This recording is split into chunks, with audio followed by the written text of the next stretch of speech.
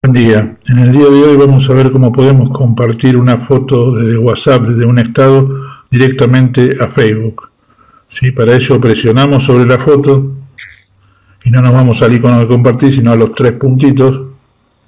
Ahí nos dice compartir, le damos otra vez y acá elegimos directamente donde queremos hacerlo, en este caso Facebook, noticias.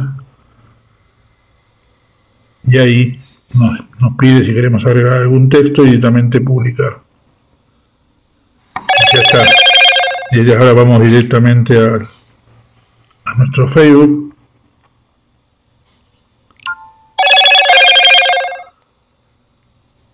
Vamos a nuestro perfil. Y acá ya está publicada la foto que recién acabamos de compartir. Bueno, espero que les haya servido y nos vemos en un próximo tutorial.